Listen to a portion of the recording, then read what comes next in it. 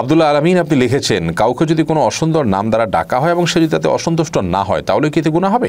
আল্লাহ রবুল্লা আলমিন বলেছেন, ওয়ালা তানাবাজুবিল আল কব তোমরা একে অন্যকে বিকৃত উপাধিতে, বিকৃত নামে ডেকো না। অতএব আমরা একে অন্যের নামকে বিকৃত করে ডাকাডাকি করব না। এটা এমনিতেই কোরআনে নিষিদ্ধ।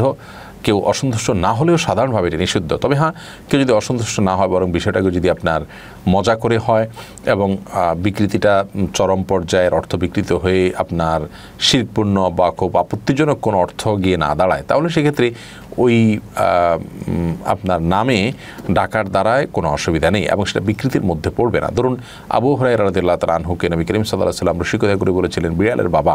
এটাকে তিনি এনজয় করেছেন, এটাকে তিনি বরং ভালো ফিল করেছেন এবং তিনি প্রাউড ফিল করতেন যে আমাকে, আমি বিড়াল পালন কারণে আমাকে বিড়াল বাবা বলেছেন নবী সাল্লাম রসিকতা করে। তো এই ধরনের যদি হয় সেটি জায়েজ আছে।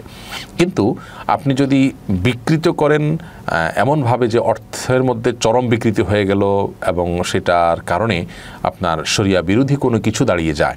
ধরুন আপনি এমন বিকৃতি করলে, আবদুল্লাহকে আপনি বিকৃতি করলে নাওজুবিল্লাহ সেটা এমন কোনো অর্থ হতে পারে যে আল্লাহর নামের মধ্যে বিকৃতি হতে পারে? তাহলে সেক্ষেত্রে সেটি তো না জায়েজ আর এছাড়া যে বিকৃতির ফলে যার নাম বিকৃতি করেছেন, তিনি কষ্ট পাবেন তুচ্ছ ফিল করবেন বা তাকে মানুষ তুচ্ছ মনে করবে। এরকম যদি হয়, তাহলে সেটাও না জায়েজ হওয়ার ব্যাপারে কোনো দ্বিমত নেই।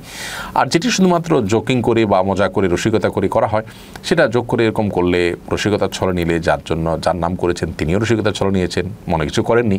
এবং বড় কোনো আপনার অর্থগত ত্রুটিপূর্ণ কোনো কিছু হয়নি সেটাতে অসুবিধা নেই ইনশাআল্লাহ তারা